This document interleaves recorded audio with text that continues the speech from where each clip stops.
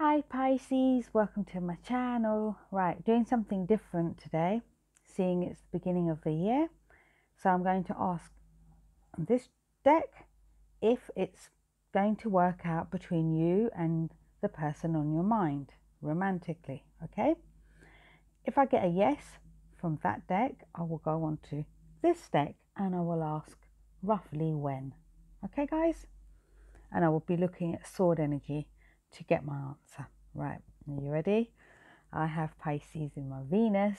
That's my love planet. So let's see, is it going to work out between the person on your mind? On our mind? Right, let's have a look. The situation will improve.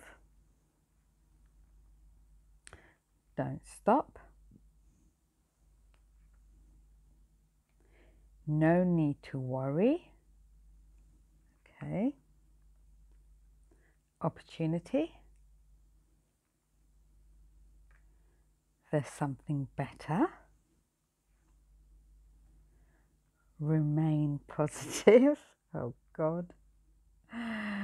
Within the next few months. Okay, so it is going to happen within the next few months. So I think they're going to come back better. So remain positive. I see an opportunity. No need to worry. Don't stop doing what you're doing. And remember, the situation will improve. Okay. So it did say, uh, let's find that card for the next few months. There it is. I'll put that at the top. Now, let's have a look here. Pentacles, Hermit, Cups, Wands, it could be a distance, Fool. Oh, I do see them taking a charge. Could be dealing with a fellow, a water sign, or they may have water in their chart. They're definitely at a distance. Right, let's have a look. One, um, swords, swords, swords here, are swords. Eight of swords. So now is either in eight months' time, in eight weeks' time, eight days' time, on the eighth of the month, or the eighth month of the year. Okay, guys?